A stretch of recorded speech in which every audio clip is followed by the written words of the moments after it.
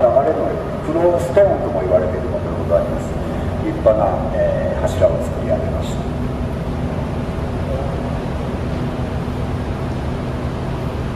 とはないだろうなって言われてますが、まあ、もし流れたままになると4500年かかるそうでございます、えー、私多分その頃またこうやってアテンダントさせていただいていると思いますのでぜひその頃また皆さんお待ちしておりますのでお越しいただきます本日はどうもありがとうございました。拙い案内に、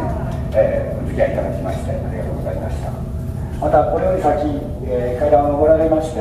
約180メーターぐらいあります、えー、3億年のタイムトンネルということで、えー、地球誕生からですね現在に至るまでの、えーまあ、万画地区内閣の、えー、記念に書かれております。もしよろしければ見ていただいて、えー、黒谷で、えー、愚痴で休まれてまた戻って暮らしてもいいですしこれから正面の方にお戻りいただいても構いませんよろしいですかはい、はい、どうぞ。